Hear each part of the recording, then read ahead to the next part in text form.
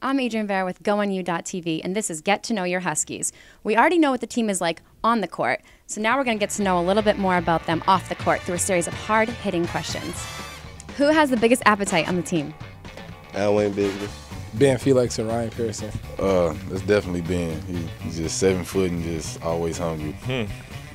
Oh, Ben. No, it's okay. Take your time. I don't know. Something in his head, he got to eat every like two, three hours, you know. So you would say that you have the biggest appetite on the team? I think that'd be fair to say. Who's the most rowdy? Who cannot leave anybody alone when you're traveling? Uh, probably Ben Felix. Kauri Black.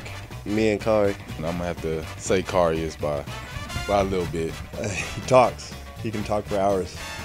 It's unbelievable, actually. Who is most likely to trip and fall? The klutz of the team. I'd say that's either me or Dinko. I'll say Alex Harris because he's kind of clumsy sometimes. I've never really seen anybody fall, except for Joe on the, in practice a couple of times. But Oh, that's me all day. I, I tripped in many practices this this year already. Who would you say is the best dressed? Me. That could be Kauri, too. Uh, could also be Alex Harris. What would you describe your style as? You never know what you're going to get. Who do you think is the worst dressed on the team? Coach Coen. that could be me, too.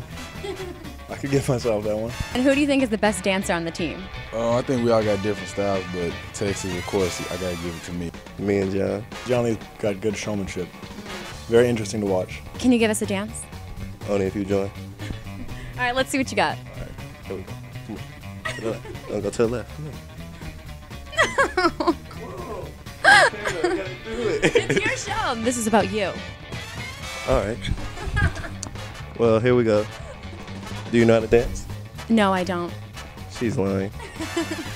And worst dancer? Uh, probably Chris Avenant. Ooh, Ryan Pearson. he is horrible. Ryan. What is Ryan so bad? Everyone's been saying he's not a good dancer. What makes him a bad dancer? Go on my Facebook page and you'll see. So now next time when you're at IV, don't share your mail with Ben Felix. And if you're looking for a date to snowball, ask Alex Harris.